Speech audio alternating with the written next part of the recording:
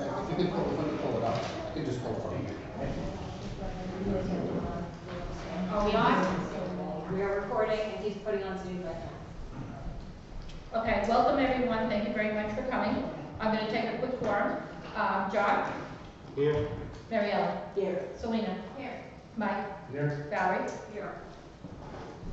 Um, Jenna? Here. Bonnie? Here. Thank you very much, and uh, Jennifer and Ann are not here tonight. Um, but Jennifer is supposed to be, um, zooming, as she said.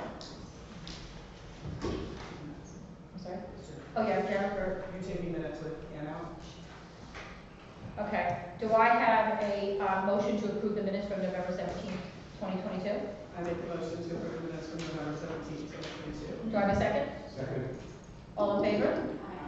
Great. Ken, we're gonna skip you for a minute because Mike Lewis has to leave to, um, for a personal matter, so, Mike, you're up. Thank you. Uh, Can you put up the balance sheet if that's okay? Thank you. The financials, Aaron? I'm gonna have to go from here because I don't have a sheet here, but, um, this is a balance sheet, uh, presentation as of November thirtieth. Um, as you will see, um, our total bank accounts for, as of November thirtieth is about one point three million dollars as opposed to one point five million dollars in November twenty twenty-one.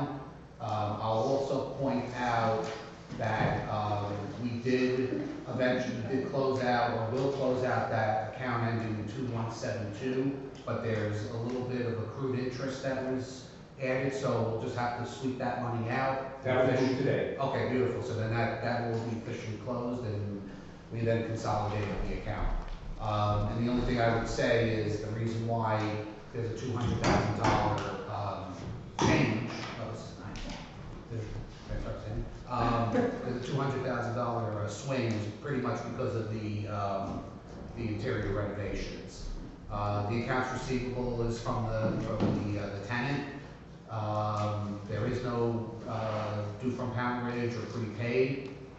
If you scroll down, Alan, um, on the other assets, that's currently what we have right now. That's November thirtieth in our Schwab endowment accounts, seven hundred and forty-five thousand, uh, as opposed to the eight hundred and thirty-four thousand.